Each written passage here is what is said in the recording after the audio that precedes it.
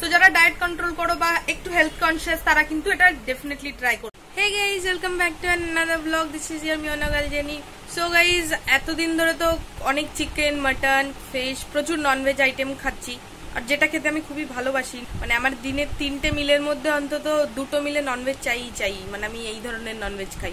So আজকে ভাবলাম একটু হেলদি খাওয়া যাক। তো আজকে একটা হেলদি ডিশ বানাবো।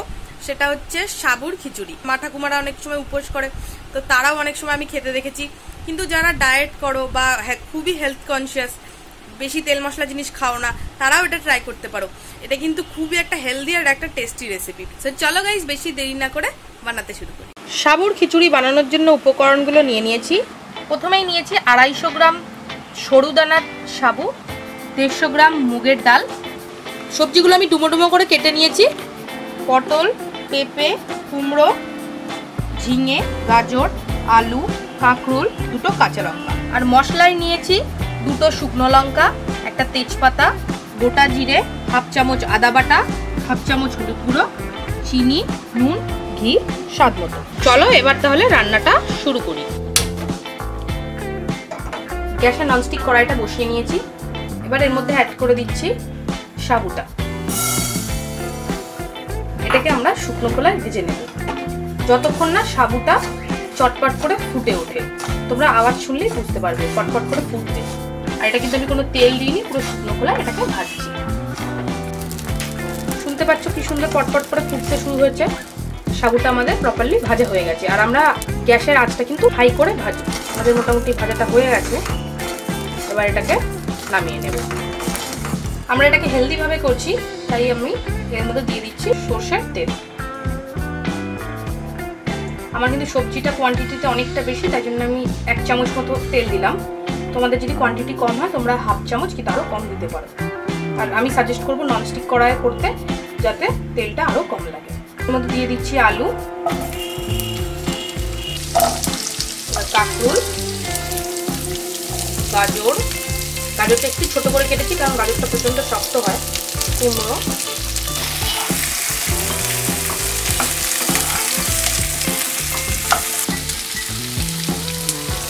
পেঁপে।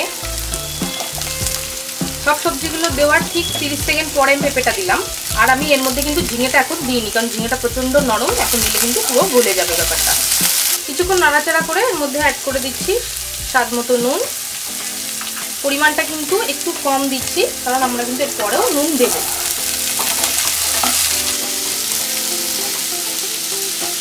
তিন থেকে চার মিনিট মতো এটাকে ভাজা ভাজা করে নিলাম। বেশি কিন্তু করব না, হালকা জাস্ট গন্ধটা কাটিয়ে নেওয়ার মতো আমরা এটাকে ভেজে নেব। এবার সবজিটাকে নামিয়ে নেব। সবজিটা ভেজে তুলে নিলাম। এর মধ্যে আবার অ্যাড করে দিচ্ছি সামান্য সর্ষের তেল। তোমরা চাইলে এটা অলিভ অয়েল বা সাদা তেলেও করতে পারো। এবার এর মধ্যে দিয়ে দিচ্ছি শুকনো লঙ্কা। শুকনো লঙ্কাটাকে হাফ করে দিচ্ছি। আর দিচ্ছি গোটা জিরে আর তেজপাতা।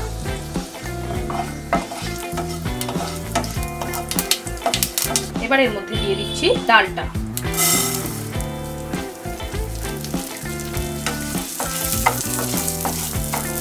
ডালটাকে হালকা ভাজা ভাজা করে নেব।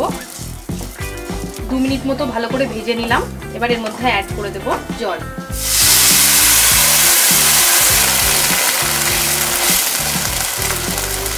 এর মধ্যে অ্যাড করে দিচ্ছি নুন।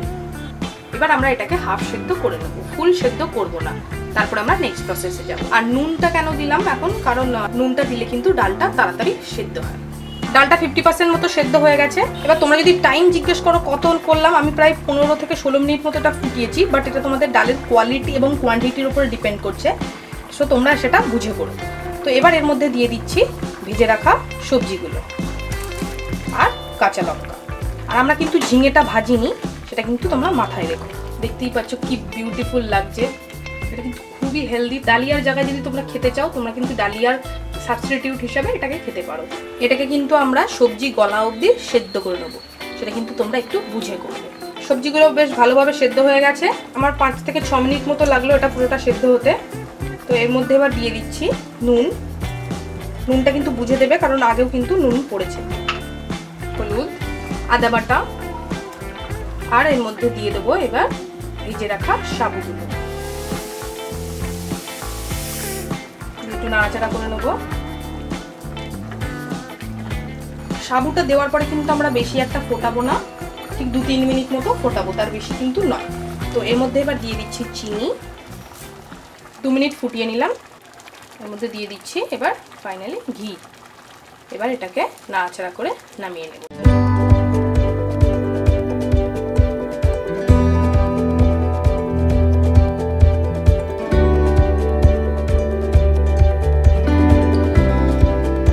যাওয়ার আগে কিন্তু লাইক এন্ড সাবস্ক্রাইবটা প্লিজ করে দিও। সো দেখে নিলে কত হেলদি এন্ড টেস্টি একটা রেসিপি এখানে আমি অনেক রকমের সবজি ইউজ করেছি, এবার তোমরা তোমাদের পছন্দ মতো সবজি ইউজ করতে পারো। এটা এমন একটা রেসিপি মানে তুমি অল্প কোয়ান্টিটিতে খেলেও কিন্তু তোমার পেট পুরো ভরে যাবে। সো যারা ডায়েট কন্ট্রোল করো বা একটু হেলথ কনসিয়াস তারা কিন্তু এটা ডেফিনেটলি ট্রাই করো।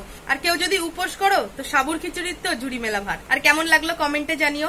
আর তোমাদের যদি কোনো রকমের সাজেশন বা কোনো রান্নার রিকোয়েস্ট বা কিছু বলার থাকে, তাহলে তোমরা আমাকে কমেন্টে বলতে পারো বা আমার সোশ্যাল মিডিয়ার লিঙ্কগুলো কিন্তু ডেসক্রিপশনে দেওয়া আছে। ওখানেও তোমরা আমার সাথে কন্ট্যাক্ট করতে পারো। তো চলো গাইজ আজকের জন্য বাস এতটুকখানি